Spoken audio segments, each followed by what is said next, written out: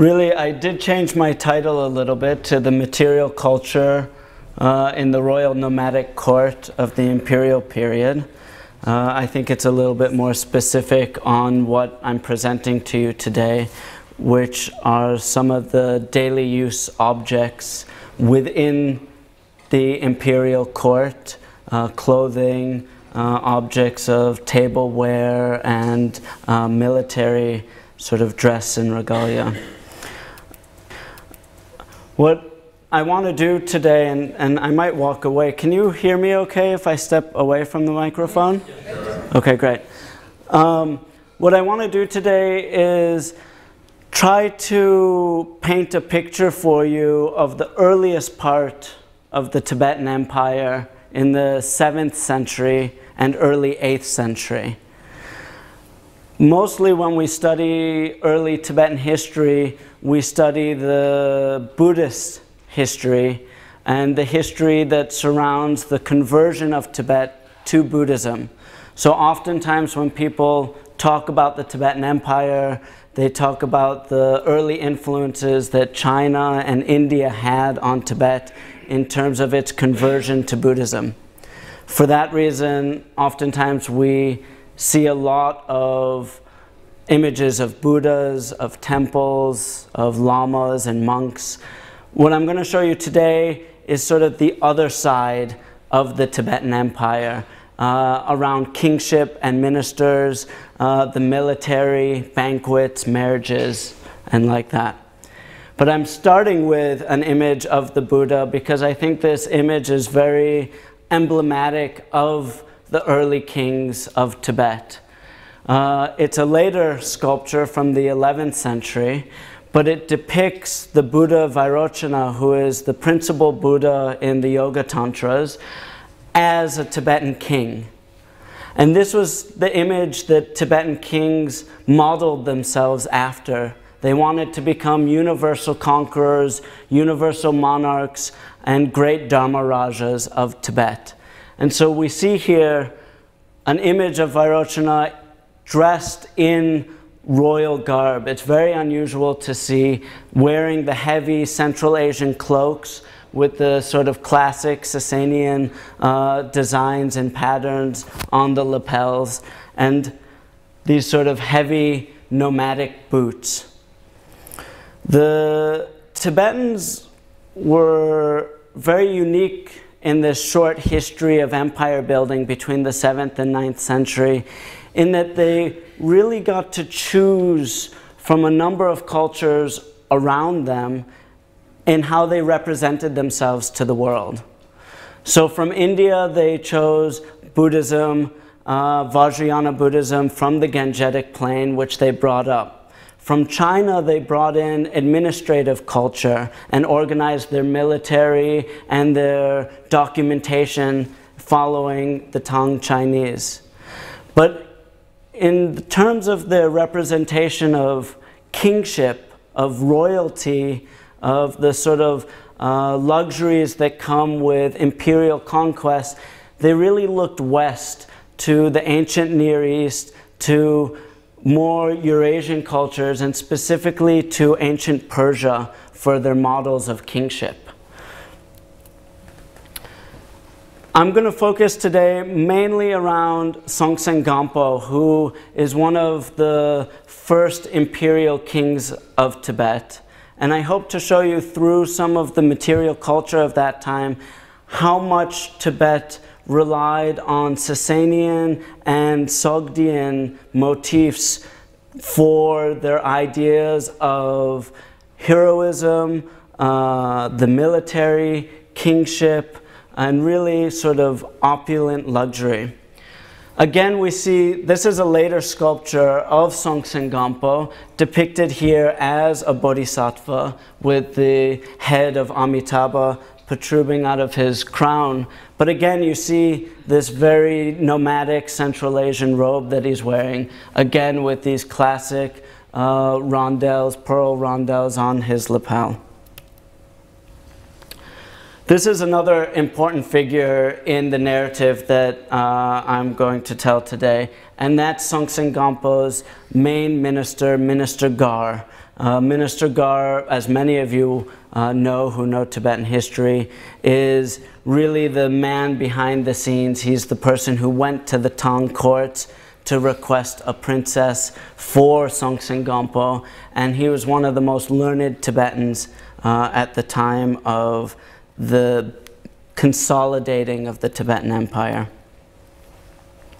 So just some basic figures and, and some dates. Namri Songtsen is the grandfather of Songtsen Gampo, and he first began to consolidate the tribes around the area of Lhasa. Before this time, Tibet was really a dispersed nomadic community, and Namri Songtsen first united the clans around Lhasa. Songtsen Gampo, after him, united all the great clans of the Yarlung Valley in southern Tibet. And it was really with him that the Tibetan Empire expanded, and it's with him that we'll focus. After that, Trisong Detsen is the next major emperor. There are a few others between him, and he continues to expand the empire and establish Tibet as a Buddhist kingdom. And it's really from his time on, so from the late mid 8th century through the 9th century, that Tibet becomes a Buddhist empire. Prior to that time, it was not really so Buddhistic. They were much more uh, a nomadic band of clans who were expanding an empire, so very militaristic.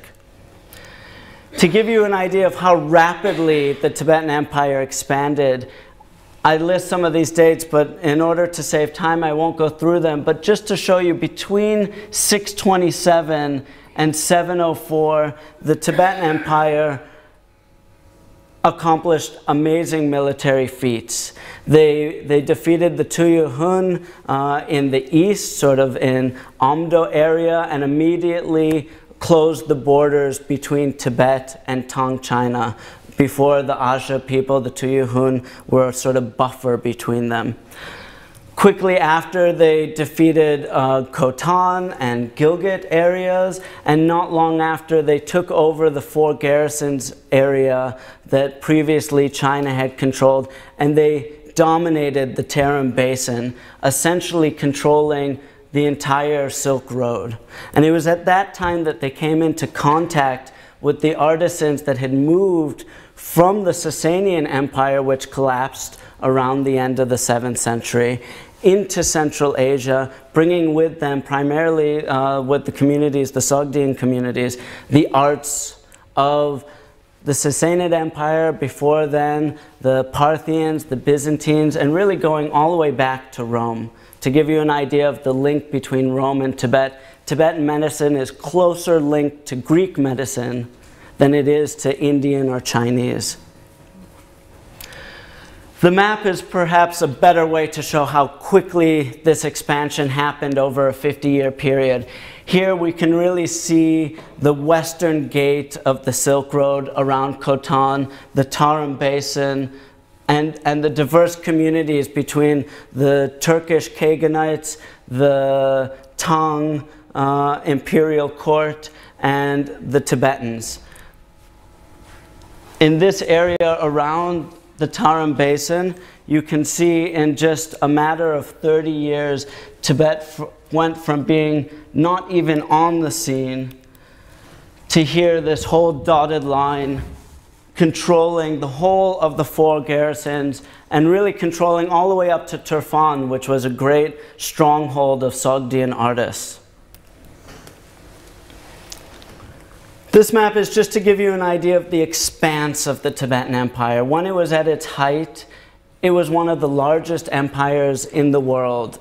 It rivaled with the Mongolian Empire, which was the largest. The Roman is the next. And then after that, the Tibetan Empire in terms of landmass. And you can see how much of Central Asia they controlled. So not only were they going up to Fergana and bordering on ancient uh, Sogdiana, but they were also into the steppe and the uh, Altai people and in uh, Turfan, which is a major point of art production. Our earliest depiction of a Tibetan. I have to sort of uh, put a caveat around this because there are early depictions of people in Tibet that are prehistoric, pre prehistoric, but this is the earliest depiction of a Tibetan in a sort of civilized manner. This is a painting I'm sure many of you know. It's a very famous painting uh, done in the 7th century. Uh, from the Tang court, and this is Minister Gar in the middle here requesting a princess for the Emperor of Tibet, Songtsen Gampo. He was refused a princess initially, and Tibet then conquered the Asha people and threatened to invade Tibet, at which point a princess was given. And Tibet carried on this tradition of marriage alliances, so marrying queens from Gilgit, from Swat, from Asha, from Kathmandu or Nepal at the time, uh, into Tibet. And I just want to point out here, this is in the late 7th century this painting was done, and here we see Minister Gar on the left again in this sort of typical Central Asian garb. And this kind of fabric you can see, I'm sure, all over uh, the art fair now, but you see it all around the world. And we even find evidence of this silk as far as Japan from the 7th century. And iconic of it are, as I said, the Sasanian rondelles that you see all on the cloak. So I now want to go into how the Tibetans consolidated their empire and the material that came around. And a lot of this focuses around the royal hunt. Now, the royal hunt was not done for sustenance purposes. The purpose of the royal hunt was really a military exercise.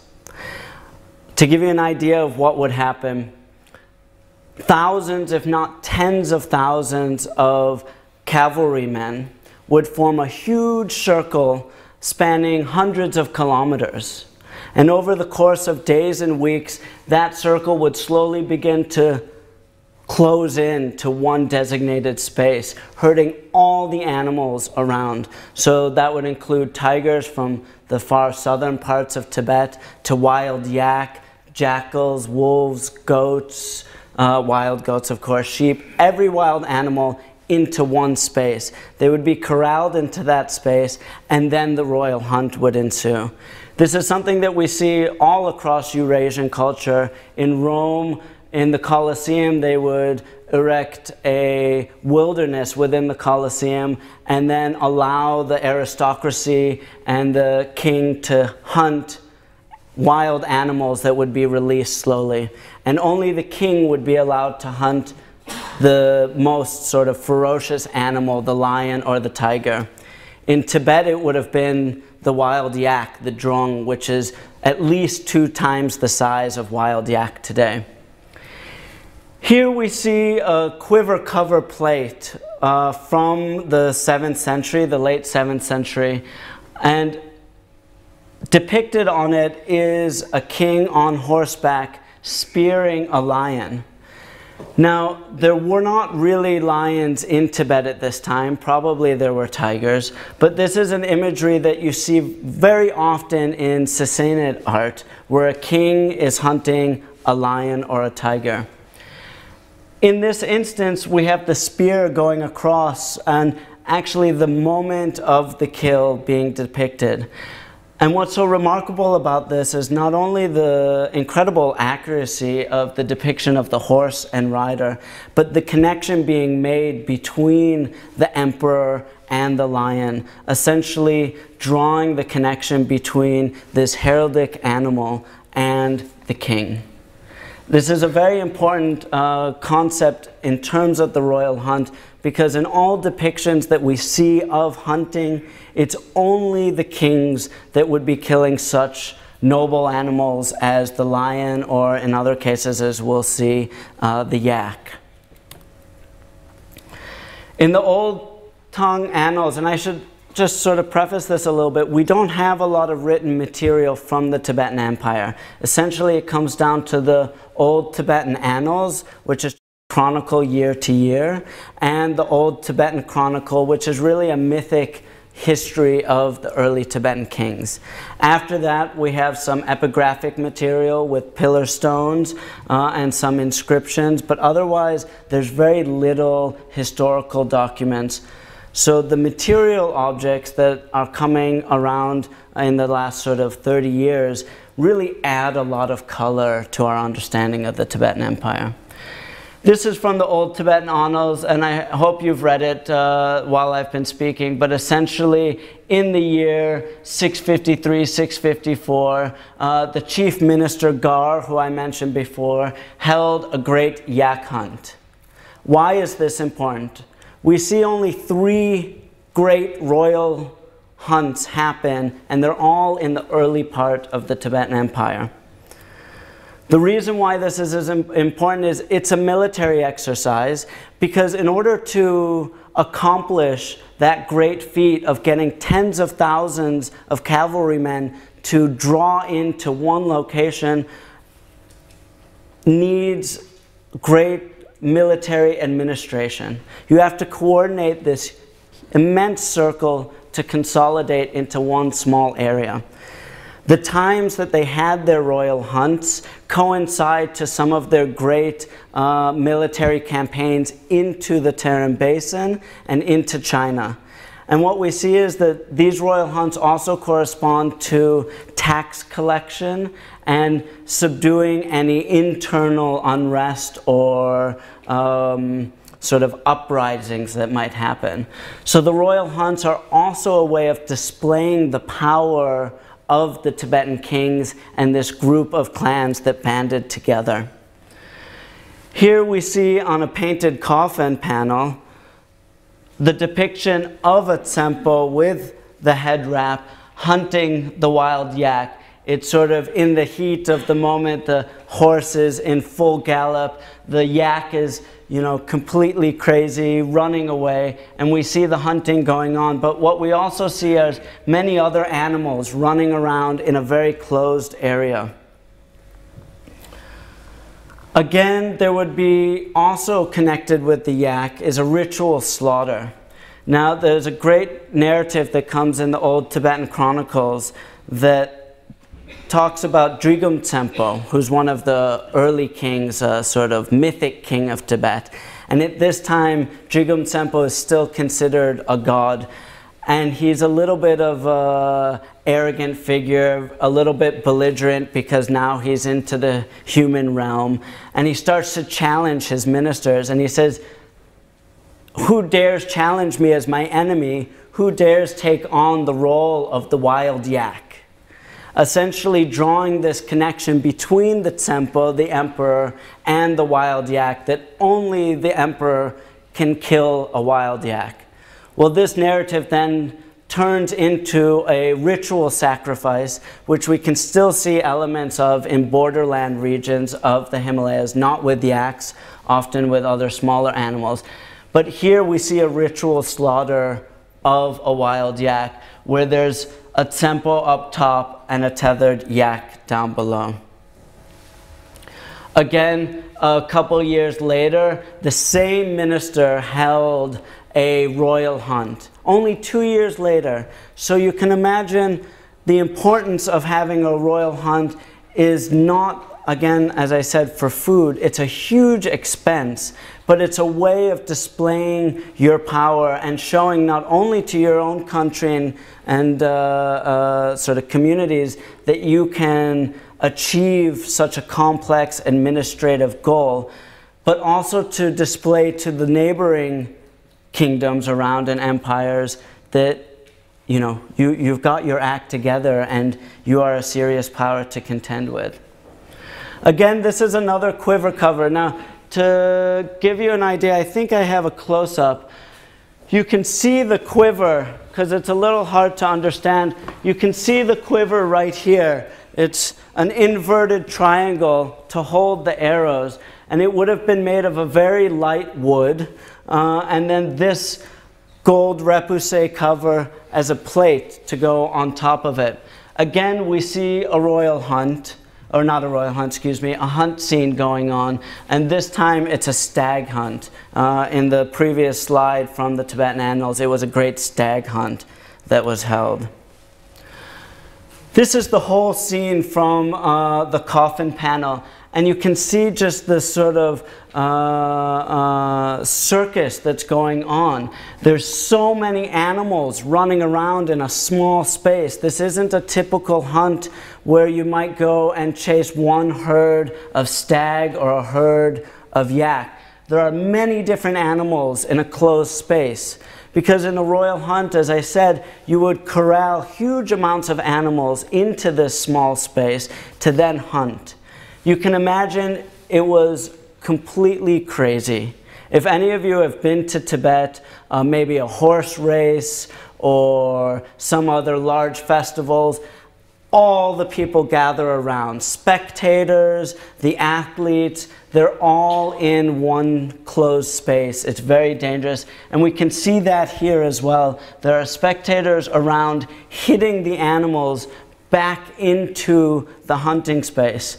Uh, not too long ago, from the manuscripts found in Cave 17 at Dunhuang, uh, there was a study of Pelliot uh, 1027 which gave laws for hunting yaks. And it was a little odd to see this. These were some of the only laws that we found uh, depicting, or rather, writing about what you do if someone falls under a yak. If you save the person, it's considered very meritorious. If you don't save the person and they die under the yak, it's punishable by death.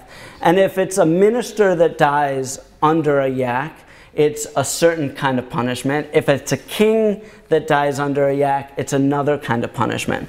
This seemed very odd at first, but in consideration of rules regulating the royal hunt, it makes perfect sense because there's a lot of spectators around, and you can see there's a lot of sort of mismanagement. And should someone fall under their horse or a yak, you would expect them to be saved.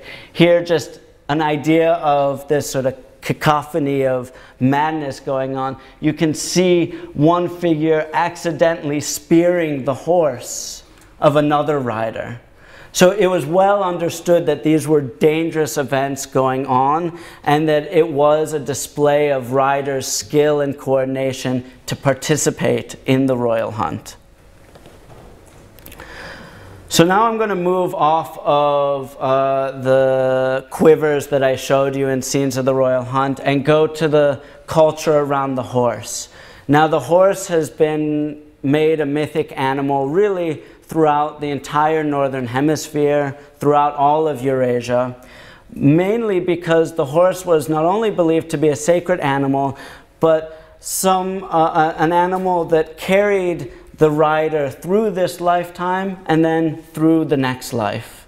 For that reason, what we find in burial sites are often all of the uh, objects that would have gone to uh, decorate a horse. Oftentimes we don't find horses, uh, but we do in some cases because the horse would have been uh, eaten in a ritual slaughter and then just all of those implements buried with the king or queen.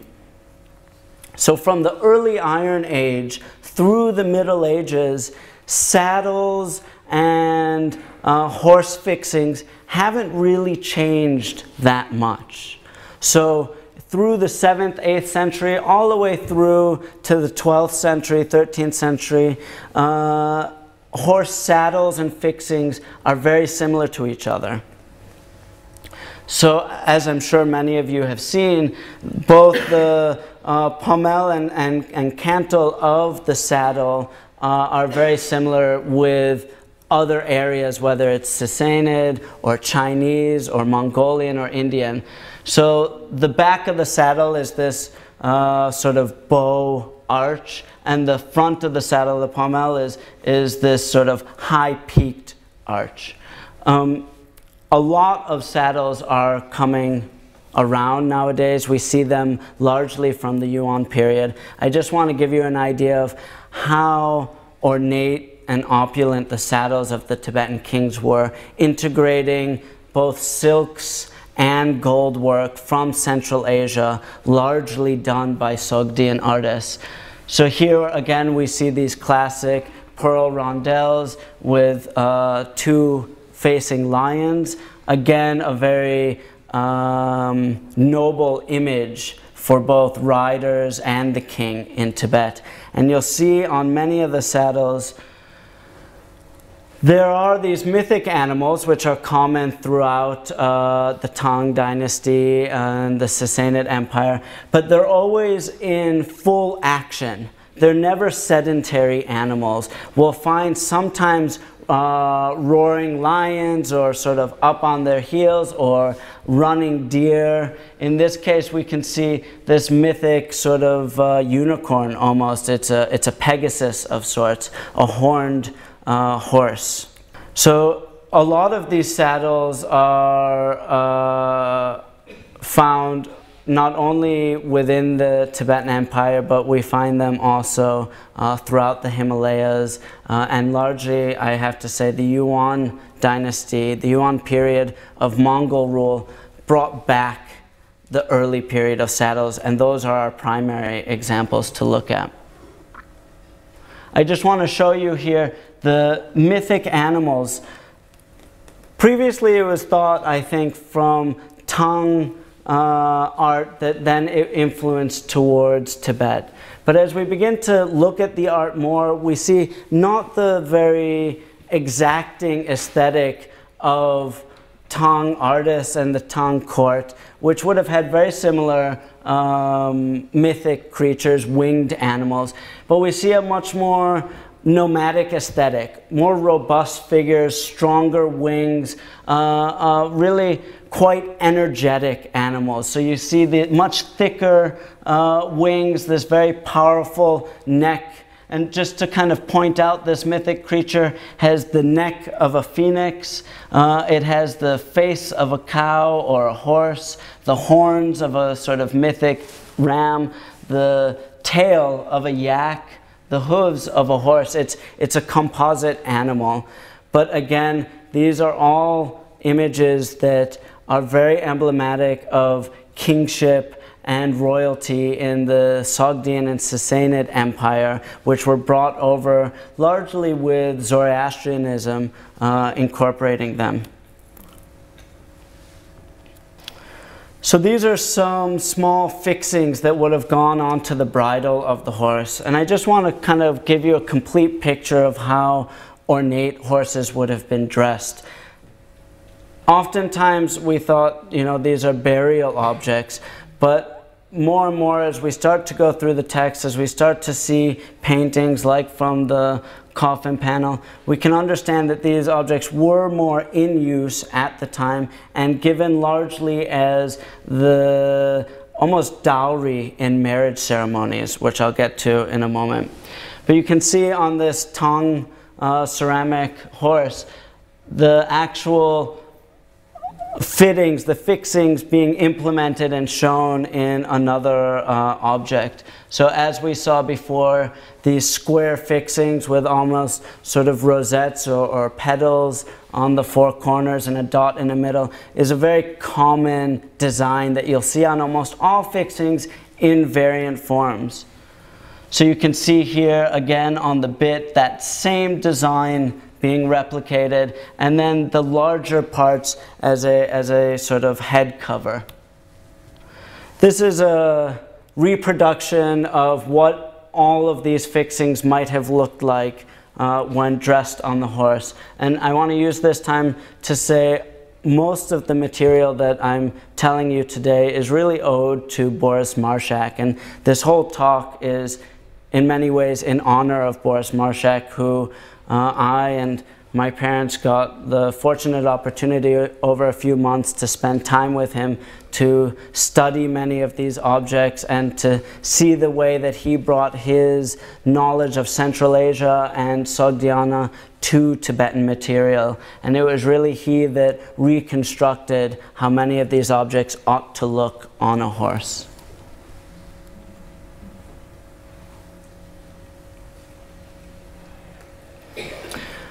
Again, I just wanted to show you some of the fixings on the, on the bridle because again, they're all animals in full energetic uh, uh, running mode. They would never want anything that was seated or sedentary on a horse that you're about to go into battle with. Whereas on cups, ewers, plates, we find a lot of animals seated in a more uh, domestic kind of state. But when it comes to uh, quivers, saddles, shields, we really find animals in their full energetic spirit, in a sense, transferring over to the rider. These small silver figures were all cut out individually and then incised with uh, a, a, very fine chisel and often smoothed over and using really what's called a, a dotting chisel to make all of this shading of the furs on the animal.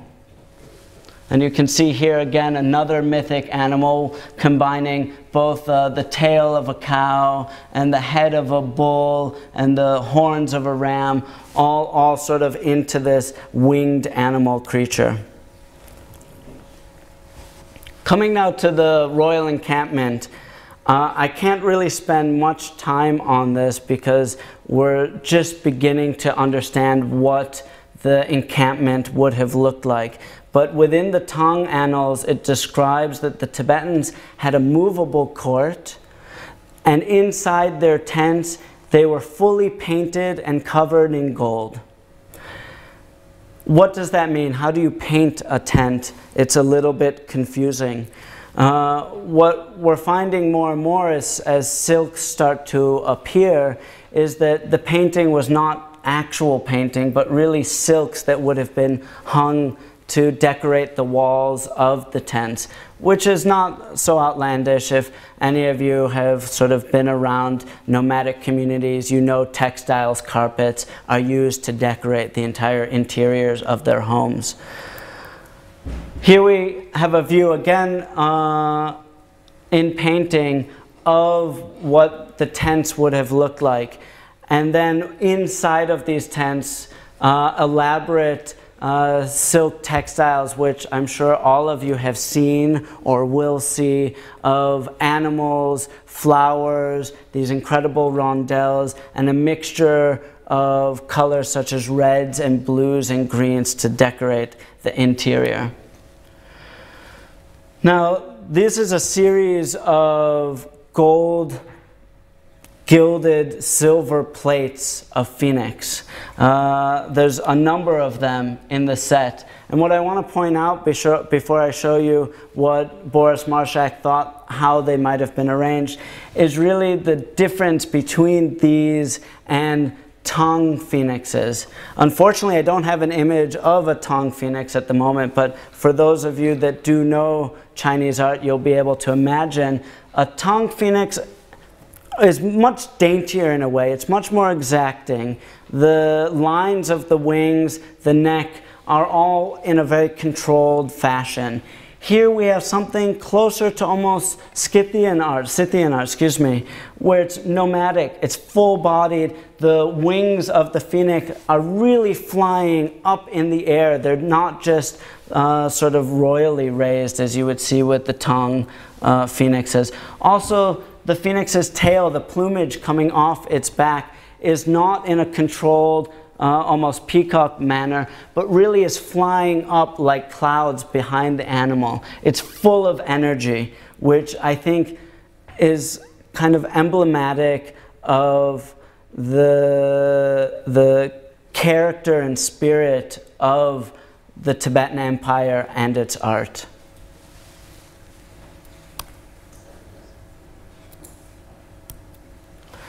This is Boris Marshak's drawing uh, of how he imagined these phoenixes would have been composed. If they were done on a square plate, it would make much more sense if they would be on walls. But because they're round, the only way they really work architecturally is to be in a round and up above. This makes a lot of sense because the phoenix is an image not only of royalty and particularly of uh, queens, but it's also an image of the heavens and is often connected in Buddhism with the Sukhavati heavens, the, the Buddha realms uh, within Buddhism. So we would see the phoenixes on these lotuses up above. And it can be thought that perhaps within a tent like this, around that sort of uh, coned chimney there, that these phoenixes would have been placed on silk. And in fact, when conservation work was done on these uh, silver plates, they did find little bits of silk uh, in some of the holes and, and nooks of it. So I'm gonna, uh, this is the last section here on banquets of silver and gold. Along with the royal hunts, which was a great chance to practice your military agility. There would be great feasts, huge banquets, but also uh, very elaborate oath rituals, which we see mostly in the Yuan period. We don't have big evidence of during the imperial period in Tibet, but it would be an oath rite with cups where the king would drink and pass the goblet around for all the ministers to drink from. So the royal hunts were also a way to reinforce the allegiance of these various clans that were always rivaling with each other. And here we see a depiction of the cup oath rite happening where a minister is offering the cup back up to the king, or rather, the king is offering it to the minister, and the minister is sort of toasting him and drinking. We see some of the other elements that we would find in terms of uh, gold and silver uh, tableware. Down below this figure with the helmet on has a black uh, rhyton uh, in his hand used for drinking wine. These are some famous uh, silverware, and you can see that same horned rhyton and uh, a vase and cup. Now the vase all the way to the left is most commonly used for uh, marriage rituals, and we see marriage rituals using these uh, vases mostly for dowry for the woman, and the cup going to the man who's often in the military.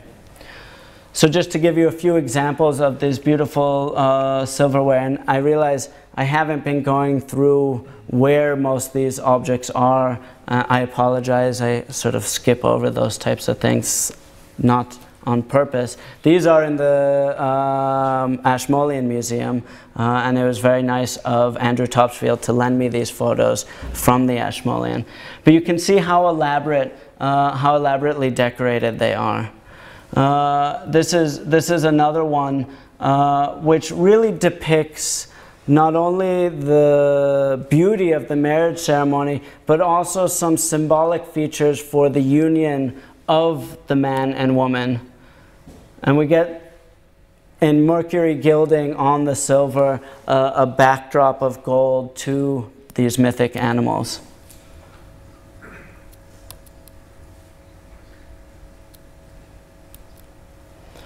As I was talking, the symbolism for the union, uh, we get these uh, two uh, mandarin ducks with their necks wrapped around each other. The mandarin duck in Chinese not only being uh, symbolic of uh, longevity and, and, and union, but sort of the loving couple both in this life and in the next life. And here in a sort of romantic way, the artist has uh, put them in a, in a sort of very sensual pose in a way. As I mentioned, often the vases would be for the bride, for, for the female, and to the male, because he was uh, a rider in nomadic communities, the riders would always have their cup. The cup was sort of a, uh, both a, an iconic feature of the rider and an emblem of the rider because at all times his cup would either be on his belt or at his mouth. And still today, it's very common in Tibet uh, for both men and women to carry around their own cup with them at all times. You can see a very uh, Persian or Sassanid uh, design to the cup, and we find many in uh, from the Tang period in China, except those would be more oval shaped uh, cups or bowls with sort of burrows on the inside dividing the inside. In Tibet, we have something closer to some of the ewers with little stems and then very uh, shallow bowls, which is still a design copied in Tibet to this day. This last vessel, uh, I'm just going to end with a little bit of a story on this, um, on this cup, as, as I really call the Rider's Cup. What we see on this cup, and I, I apologize, they're not great images, but there's four diamonds that make up the outer band of the cup, all made of uh, repoussé silver and then soldered onto the cup and then mercury gilding done on the gold. And then these figures are carved out individually and really beautifully incised uh, with this um, dotting chisel and then smoothened out.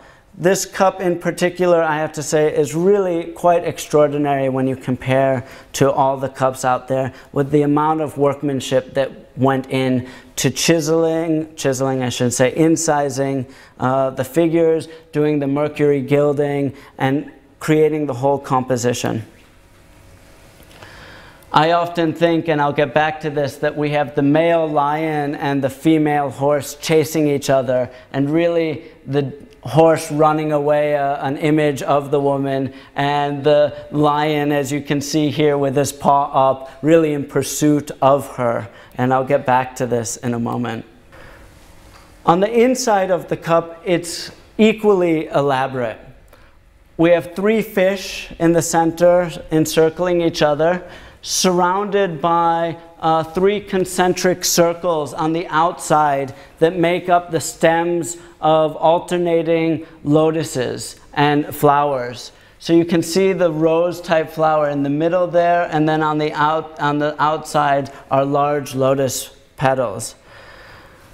On top of those lotus petals are mandarin ducks. So you can begin to see how elaborate this cup was, even on the interior where liquid would have been poured.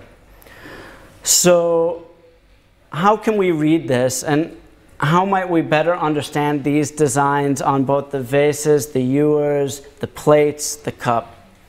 Uh, Boris Marshak recalled a story that kind of brought this whole cup together.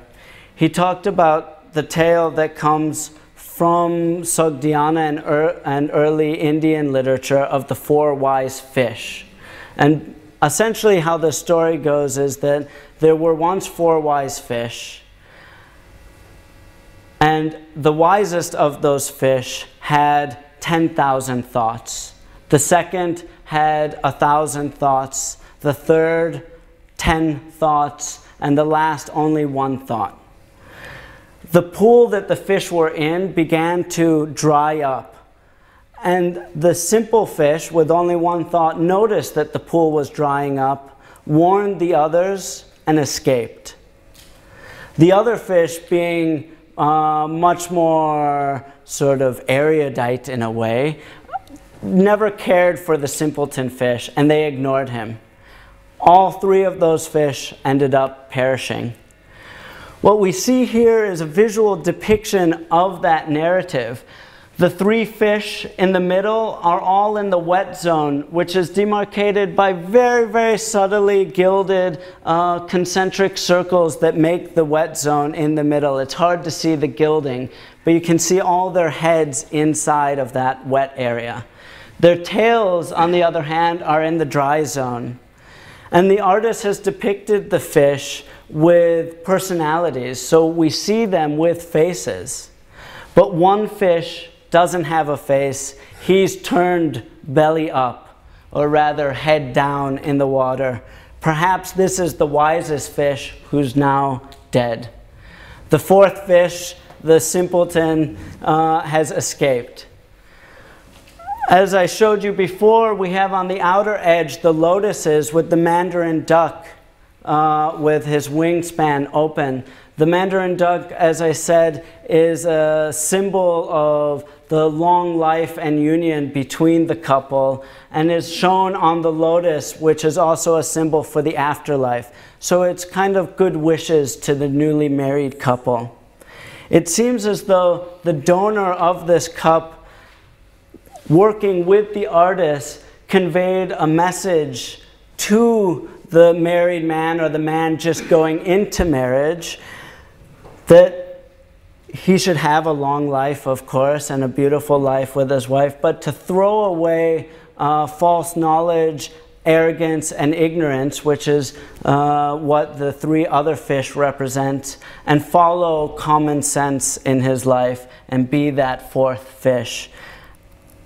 Uh, I see my time's done there, so I'm actually I'm just going to end with that story and thank you all for your patience.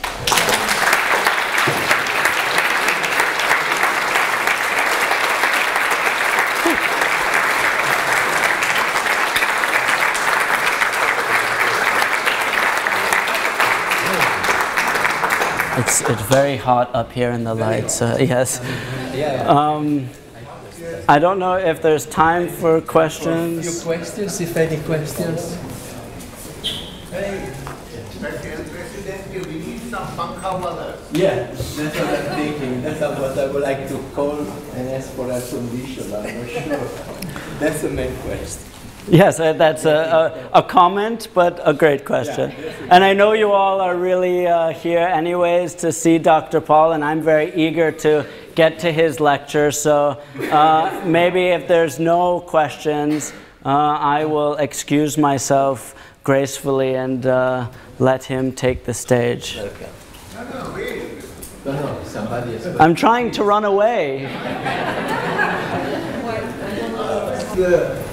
motif of the entwined necked ducks? Ah, that's a, that's a good question. I think maybe you might be a better person to answer that question. but uh, I really, I really, I really don't know. Uh, but I will look into it. I have seen it in some other places, and I've even seen it in sculpture where two animals will have their necks entwined, and often the male and female, but I can't actually answer that question. It occurred to me that in Sanskrit literature and also in Indian art, there's a motif called, yes, you see that Hamsa Mithuna. Hamsa Mithuna, Hamsa being goose, and Mithuna mean, meaning union. So this motif Uh, as far as I know, in literature goes back certainly to the Mahabharata or even to Vedic literature. And in art it appears probably from at least the Kushan period. Okay. So, and it's an, one of the Ashtamangalas also, and it's an auspicious symbol. And it is of the union, of course, as you say. Right. And I was wondering whether its origin was in China or India. I see. Well, one, one thing that I have learned, no, no, I, I think that's right. One thing that I have learned, Dr. Paul, is that the Tibetans uh, draw their myths, as you know, largely from India, but also from the Sogdians. And that the Sogdians and the Indians shared a lot because, in fact, you know, they were really all uh, within the same geographic zone with uh, Gandhara and, and moving all the way up. So uh, I think we'll find more and more commonalities between those areas than really from China.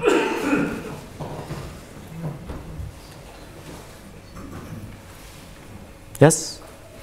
If I want to see some uh, Tibetan artifacts, where, where do you suggest I should go? I mean, the largest museum or the... Carlo Cristi's gallery right now.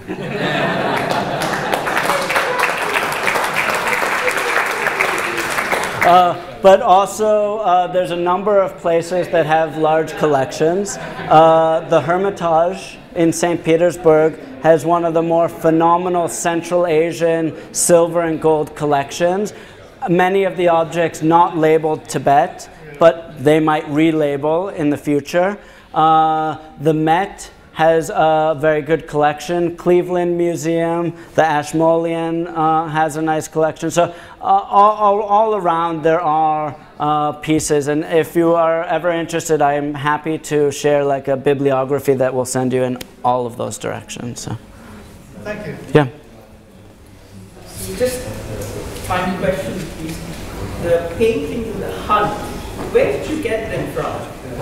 Uh, that is from a coffin panel, and there are a number of coffin panels very similar to them. Uh, one is in Dulan, there's another uh, in the Met. Those are from a private collection. All right, I'm going to step off now because I see it's that time. So thank you all very much, and uh, I hope you enjoyed the talk.